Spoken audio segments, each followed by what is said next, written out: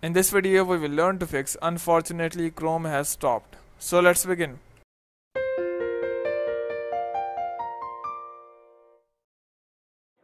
So to fix Google Chrome error, unfortunately Google Chrome has stopped working on Android mobile. What you have to do is just go and open your mobile settings. Once you have opened your mobile settings, what you have to do is just scroll down below and search for apps or application manager. In my case this is apps, in your case it might be application manager. So just go and open apps. Once you have done so, in my case all the applications are already listed. In your case, you might have to swipe twice left to get all the applications listed. So if you need to swipe twice left, just go and swipe twice left. Once all the applications are listed, just scroll down below and search for Google Chrome. Here it is, Chrome. So just go and open Chrome.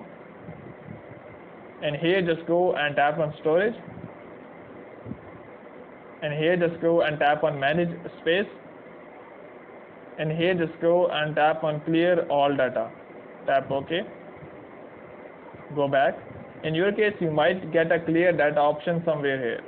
So just go and tap on manage manage space and clear data once you have cleared the data just go and tap on force stop tap ok once you have done so just go and restart your mobile once you have restarted your mobile just go and open your google chrome app Hope by doing so your issue will be resolved but before you go please like, subscribe and share. Thank you.